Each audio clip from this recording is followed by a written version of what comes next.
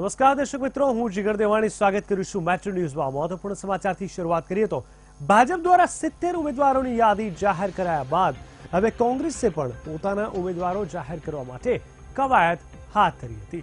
જેના માટે દિલ્હી ખાતે કોંગ્રેસ સ્ક્રીનિંગ કમિટીની બેઠક મળી હતી. દિગ્ગજ નેતાઓની મળેલી આ બેઠકમાં ફાઇનલ ઉમેદવારોના નામ નક્કી કરવા માટે ચર્ચા હાથ ધરાઈ હતી. ભાજપને પગલે હવે કોંગ્રેસ પણ પ્રથમ તબક્કાના ઉમેદવારોના નામની યાદી જાહેર કરે તેવી શક્યતા છે. સંભવતઃ આ યાદી આવતી એક કે બે દિવસમાં જાહેર થાય તેવી સંભાવના છે. અશોક ગેહલોતના જણાવ્યા મુજબ, હાલ એનસીપી અને જેડીયુ સાથે વાતચીત ચાલી રહી છે. થોડા દિવસમાં યાદી જાહેર થઈ જશે.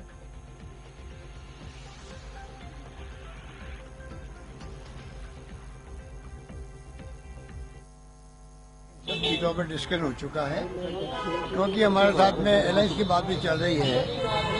एनसीपी से जेडीयू से एलायंस की बात भी चल रही है। इसलिए हम लोग उस प्रोसेस में है।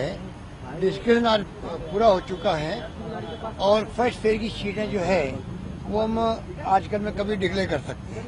क्या लिस्ट आ जाएगी? सर आपको लिस्ट आ कल एक दो दिन में एक दो दिन में आज नहीं आएगी। जैसे कहा जा रहा है, तीन सीटों में एक दो दिन में लिस्ट आएगी नंबर एक एनसीपी और जेडीयू वाले से हमारे संपर्क हैं अलायंस करने की बात तो वो करना चाहते हैं हम भी चाहते हैं अलायंस हो अगर अलायंस हो गया तो निर्भर उस पर करेगा कुछ सीटों का તો હાલ અમારી સાથે જોડાઈ ગયા છે અમારા સંવાદદાતા નરેન્દ્ર રાઠોડ નરેન્દ્ર જણાવશો કોંગ્રેસથી જે રીતે સ્ક્રીનિંગ કમિટીની બેઠક પૂર્ણ થઈ ગઈ છે શું ચર્ચા હાથ ધરાઈ છે આગળના સમયમાં શું નિર્ણયો આ બેઠકના આધારે લેવામાં આવી શકે તેમ છે. મળી હતી એ પૂર્ણ થઈ ચૂકી છે. સેન્ટ્રલ ઇલેક્શન કમિટી કોંગ્રેસની જે છે એની આ બેઠક હતી અને આ બેઠકની અંદર તમામ મુદ્દાઓ પર ચર્ચા કરવામાં આવી છે. કોંગ્રેસ દ્વારા જે ક્રાઇટેરિયા નક્કી કરવામાં આવ્યા હતા, આ સિવાય જે જ્ઞાતિગત સમીકરણો નક્કી કરાયા હતા અને એ જ્ઞાતિગત સમીકરણો બાદ જે ઉમેદવારો, એમનું જે વિનિંગ કોમ્બિનેશન છે કોંગ્રેસનું, એની અંદર બંધ બેસશે છે એવા ઉમેદવારોની પસંદગી પ્રક્રિયા હાથ ધરવામાં આવી હતી. લગભગ છેલ્લા એક દોઢ મહિનાથી આ તમામ પ્રક્રિયાઓ ચાલી રહી હતી. વારંવાર બેઠકો મળી હતી. સ્ક્રીનિંગ કમિટીની બેઠક અનેક વાર મળી ચૂકી હતી. આ સિવાય સ્થાનિક જે નેતાઓ હતા, પ્રદેશ પ્રભારી અશોક ગેહલોત, આ સિવાય જે ભરતસિંહ સોલંકી છે, બંને નેતાઓ વારંવાર દિલ્હી જતા હતા અને ત્યાંથી પણ હાઈકમાન્ડ સાથે બેઠક કરવામાં આવી હતી અને ત્યારબાદ આખરે આજે છેલ્લી ચર્ચા થઈ છે અને જે શક્યતાઓ દર્શાવવામાં આવી રહી છે તે મુજબ આવતીકાલે કોંગ્રેસનું જે પ્રથમ લિસ્ટ છે તે જાહેર કરવામાં આવી શકે છે. આજે જે સીઈસીની બેઠક મળી હતી, એની અંદર બેઠક સોનિયા ગાંધીના નિવાસ સ્થાને મળી હતી અને તમામ મોટા નેતાઓ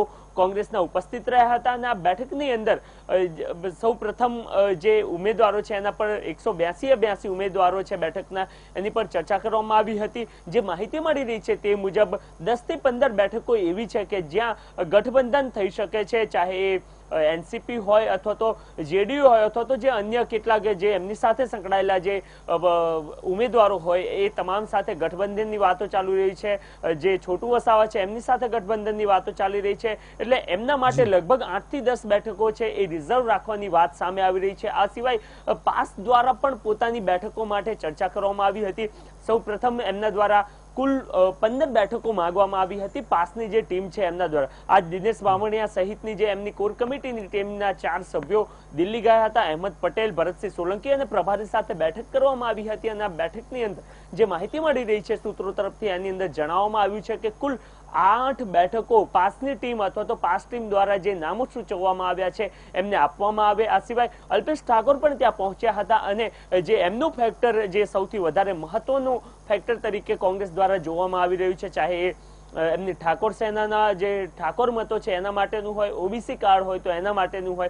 એટલે અ, જે મહદઅંશે ખૂબ એવી બેઠકો છે લગભગ સિત્તેરથી એસી બેઠકો એવી હતી કે જ્યાં અલ્પેશ ઠાકરનું સૂચન માંગવામાં આવ્યું હોય અને ત્યારબાદ આ તમામ જે પસંદગીની પ્રક્રિયા છે એ હાથ ધરવામાં આવી હોય, જે શક્યતાઓ દર્શાવવામાં આવી રહી છે તે મુજબ આવતીકાલે બપોર બાદ ગમે ત્યારે કોંગ્રેસનું જે પ્રથમ લિસ્ટ છે પ્રથમ તબક્કા માટેનું એ જાહેર કરવામાં આવી શકે છે અને આ આ જે પ્રથમ લિસ્ટ હશે એની અંદર એ બાબતો તમામ જોઈ શકાય છે કે જ્યાં નિર્વિવાદિત હોય અથવા તો જે ધારાસભ્યો લગભગ આડત્રીસ ધારાસભ્યોને રિપીટ કરવાની વાત છે તો એ આડત્રીસ ધારાસભ્યો આ સિવાય જે મોટા નેતાઓ છે અને એ સિવાયની કેટલીક બેઠકો એવી છે છે કે જ્યાંથી કોઈ વિવાદ ના હોય અંદરથી અંદર ખાને જે વિરોધની વાત હોય અથવા તો અવિશ્વાસની લાગણી હોય એ બાબતો ક્યાંય ના જોવાઈ રહી હોય એવું લિસ્ટ હશે. એટલે કે સિત્તેર એસી થી સિત્તેરથી એસી એવી તમામ બેઠકો છે એ પ્રથમ લિસ્ટમાં જોવા મળી શકે છે. આ સિવાય બીજી બાબતો કોંગ્રેસ એ પણ જોઈ રહી છે કે ભારતીય જનતા પાર્ટી દ્વારા હજુ પણ આગામી સમયમાં એમનું જે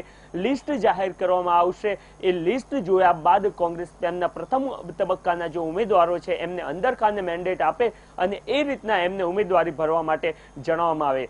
એટલે કે આજે ભારતીય જનતા પાર્ટી દ્વારા પોતાનું લિસ્ટ જાહેર કરી દેવામાં આવ્યું છે. એની પણ અંદર આજે જે બેઠક મળી હતી એટલે ચર્ચા થઈ હતી અને જ્ઞાતિગત સમીકરણો મળીને તમામ બાબતો પર ચર્ચા થયા બાદ આવતીકાલે પ્રથમ લિસ્ટ કોંગ્રેસનું જાહેર થઈ શકે છે. બિલકુલ. નરેન્દ્ર જી. ખાસ કરીને જે રીતે ભાજપે સિત્તેરમાંથી અઠ્યાવીસ બેઠકો પર ઓબીસી સમાજને પ્રાધાન્ય આપ્યું છે તે જોતા લાગે છે કે આગળના સમયમાં કોંગ્રેસ જયારે જાહેરાત કરે પોતાના ઉમેદવારોની તેમની રણનીતિ થોડું અલગ કરીને કંઈક કરશે, કારણ કે ક્યાંક ને ક્યાંક ભાજપની રણનીતિ પણ હવે ધ્યાનમાં લેવી પડે અને તેના કારણે તેમના પોતાના કોંગ્રેસના સમીકરણો બદલાય તેવી શક્યતા લાગે છે કે શું?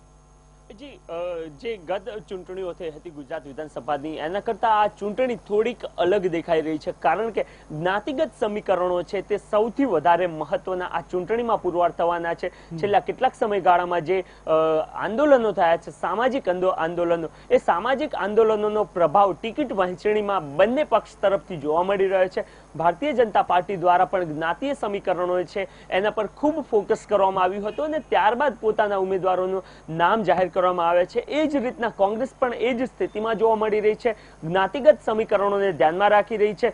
પાસની ટીમ સાથે પણ બેઠક કરવામાં આવી હતી. કોંગ્રેસમાંથી થોડી વાર થોડા સમય પહેલા જ કોંગ્રેસમાં જોડાયેલ જે અલ્પેશ ઠાકોર છે એમની સાથે પણ બેઠક કરવામાં આવી હતી. એમના સૂચનોને પણ ધ્યાનમાં લેવામાં આવ્યા હતા. એટલે કે તમામ જગ્યાઓ ઉપર જે જ્ઞાતિગત સમીકરણો છે એના પર સૌથી વધારે ધ્યાન આપવામાં આવી રહ્યું છે અને જે આગામી સમયમાં એમનું જે પ્રથમ લિસ્ટ જાહેર થશે ત્યારબાદના જે વધારે લિસ્ટ જાહેર થશે એ તમામ અ, જે લિસ્ટ છે એના પર છેલ્લા કેટલાક સમયગાળામાં જે જ્ઞાતિગત સમીકરણો બદલાયા છે એ જ્ઞાતિગત સમીકરણોનો પ્રભાવ એ તમામ પાર્ટીઓના જે ટિકિટની વહેંચણી છે એની અંદર જરૂરથી જોવા મળશે. એક બાબત એ પણ હોઈ શકે છે કે કોંગ્રેસ દ્વારા એ જે ઠાકોર ફેક્ટર હોય એ બાબત કારણ કે અલ્પેશ ઠાકોર કોંગ્રેસમાં જોડાયા છે એ બાબત તેમજ જે પાસની ટીમ એમની સાથે. સંકળાયેલી છે એટલે પટેલ ફેક્ટર. બંને ફેક્ટરને ધ્યાનમાં રાખીને એમનું પ્રથમ લિસ્ટ સામે આવશે એ બાબત ચોક્કસથી જોઈ શકાય એમ છે. બિલકુલ નરેન્દ્ર સમગ્ર માહિતી આપવા માટે ધન્યવાદ. તો ચોક્કસથી હવે જોવાનું એ છે કે કોંગ્રેસ શેના આધારે પોતાની રણનીતિ બનાવે છે અને પોતાની રણનીતિ સાથે કેવી રીતે કઈ બેઠક ઉપર કયા ઉમેદવાર પર તેઓ દાવ લડે